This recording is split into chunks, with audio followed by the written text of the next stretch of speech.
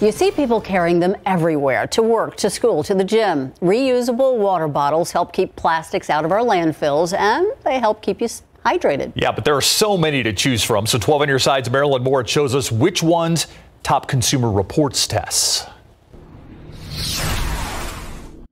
Water bottles are a handy way to hydrate for adults and kids on the go. So you press this down and then you float it up and then start drinking.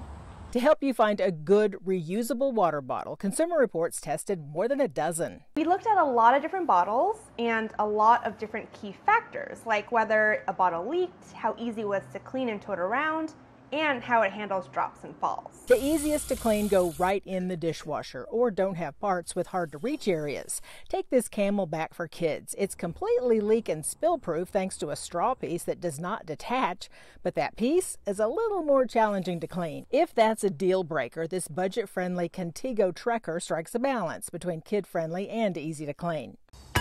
Need durability? Testers say these Yeti Ramblers are nearly indestructible, keep drinks cold for more than 36 hours, and are super easy to clean. The Yeti is a pretty solid and heavy water bottle, so if you've got smaller kids or you want something that's really easy to tote around or like take to the gym, you might want to consider something lighter. For example, this Hydro Flask, it weighs less than a pound and it keeps your water pretty cold. It also fits perfectly into most cup holders. The wide mouth with straw lid is $40. If ice cold water isn't priority, you can save some money with this sun dried water bottle. It has a silicone mouthpiece that's easy to use and easy to clean. Marilyn Moritz, KSAT 12 News.